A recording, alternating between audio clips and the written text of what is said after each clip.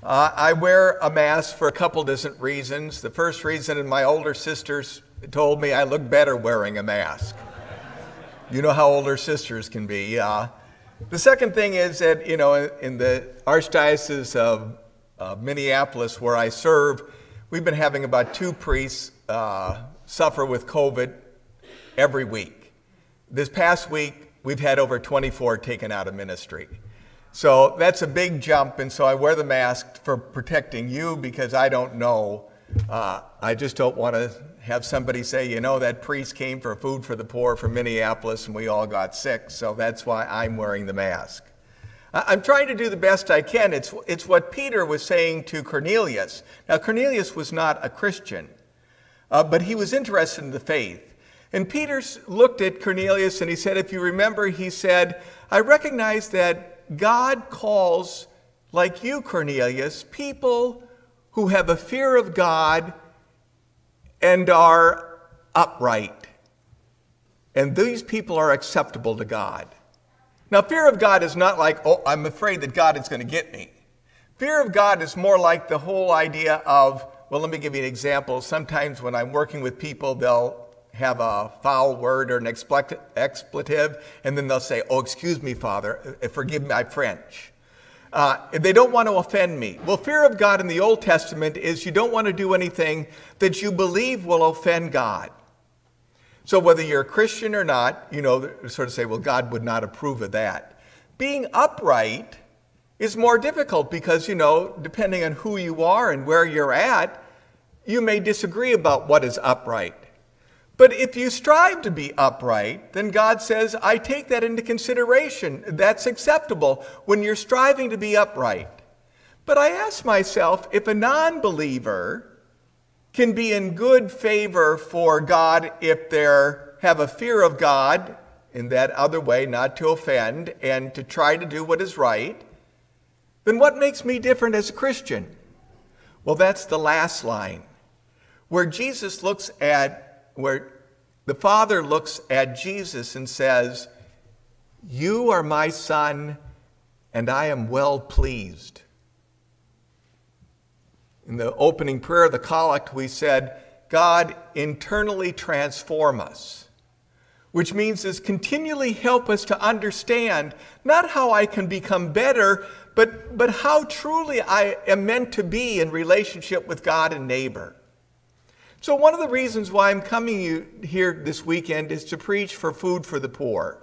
Now, I'm not going to do your regular thing, which is the whole idea of saying, you know, there's poor people in the world and they need your help. They have extreme poverty. Uh, you know, imagine the people in Haiti, uh, imagine the people in Kentucky or different places where, you know, they've had natural disasters. Uh, imagine people who are starving or can't get medical care. It's, it's usually the way that people say, and, and you can help them. I'm not here to do that. I've done that all my life. You know, as the priest, you're expected to do that. But about three or four years ago, I started preaching for food for the poor because of my experience in a parish. And the experience in the parish sort of transformed my way of looking at giving to the poor. Uh, when I got there, it was already in operation. It was a group of people who went to the local supermarket a few years before I came. It was called Cub Foods. It's like your Dierbergs or Schnucks or whatever you have. You know, the real large chain, one, chain ones. They went to Cubs and they said, We recognize that you throw out a lot of things, baked goods, you know, uh, produce or whatever. We would like to come and pick it up and take it to the poor. And the manager said, Well, we would like to do that, but we tried it before and the people just didn't show up. And so the people from my parish, St. Rita, said, Give us a chance. Uh, agree to give it to us for two months, and we'll show you that we will show up. Now, in Minneapolis, it can be tough showing up because, you know, when I left there Friday morning, the ambient or the real temperature was minus 18 that wasn't with the wind chill factor. And you know, when it's snowing and ice in the roads, it's sort of like, you say, I don't know if I want to show up. But they showed up. And after two months, Cubs Food said, All right, we'll keep on doing it. As long as you keep on showing up, we'll give you our leftovers. and you take it to the poor.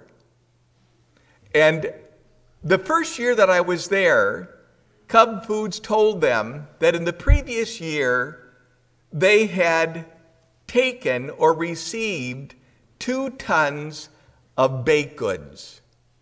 Now, sometimes a loaf of bread is only a pound.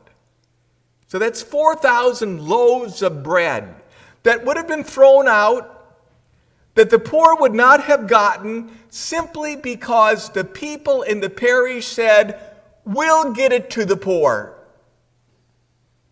That's why I preach for food for the poor.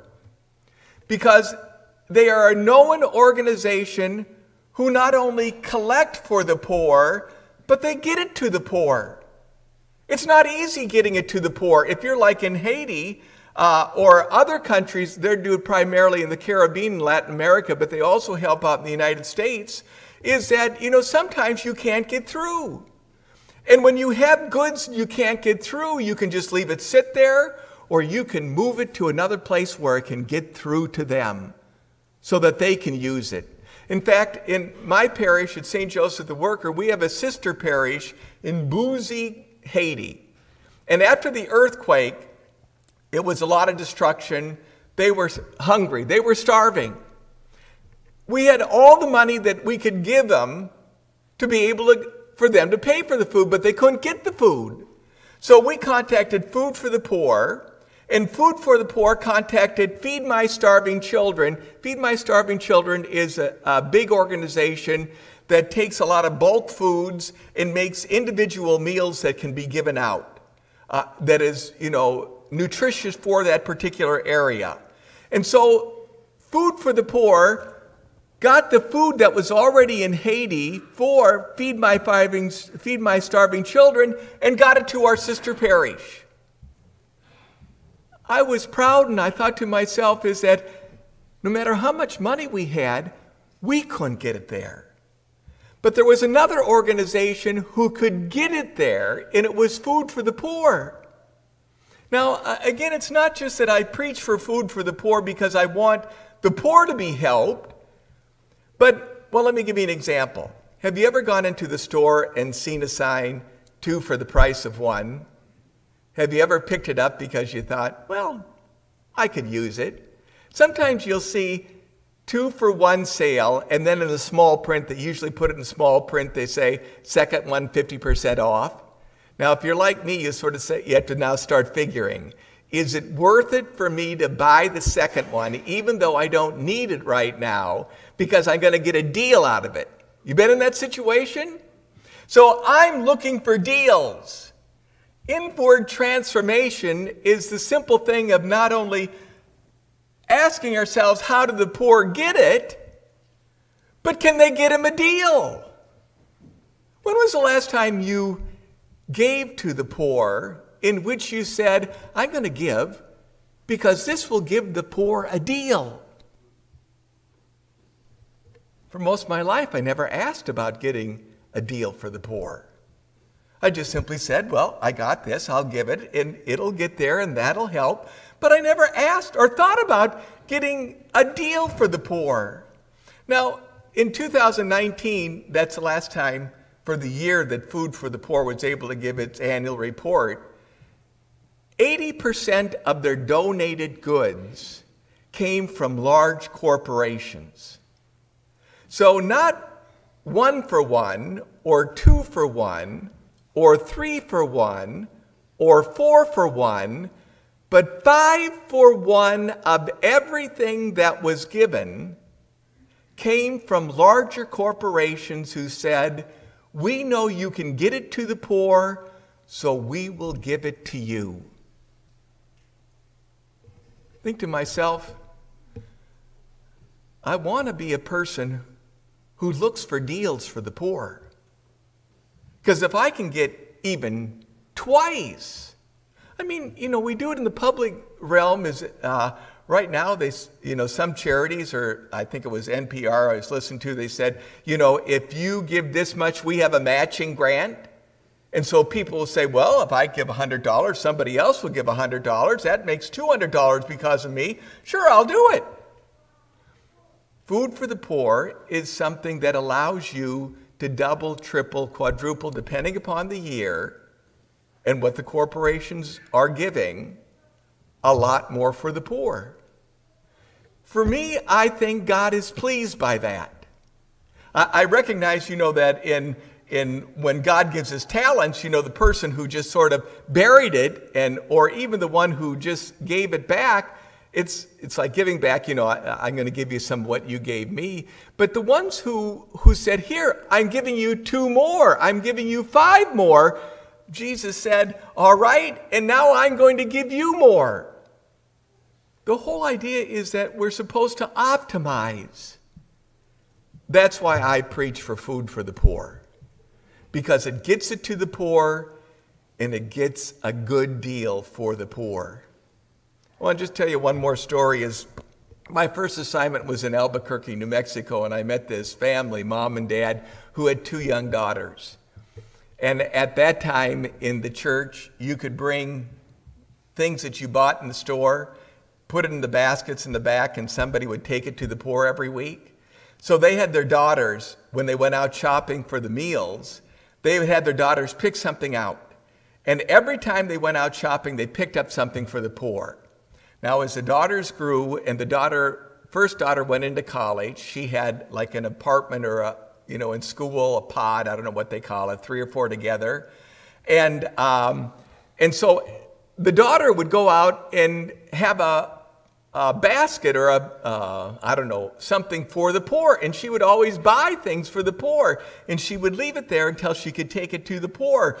And one day her roommates ran out of food. And they said uh, can we have the things in the basket? And she said no that's for the poor. And when she went home and told her parents can you imagine how her parents felt they were pleased. You know, the daughter went off to college, but she, it was inside of her is that it's important to be aware of the poor. So, you know, you, there's pamphlets inside the, the pews. You can find one. It'll tell you more, a little bit more about the practical realities of food for the poor.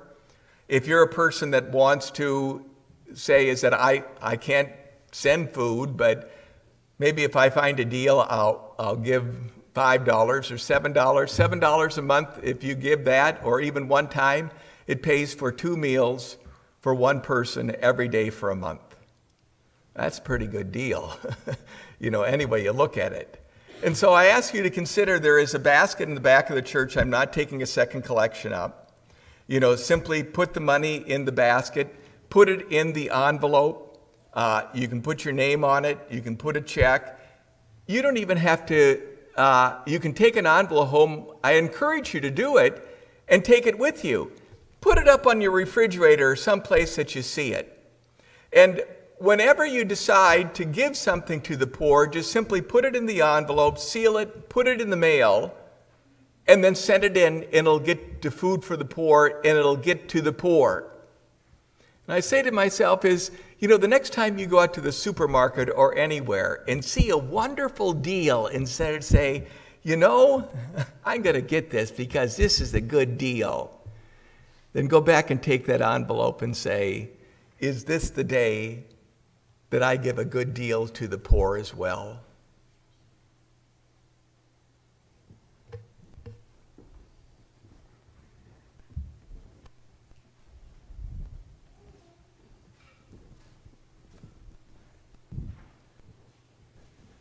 Now let us stand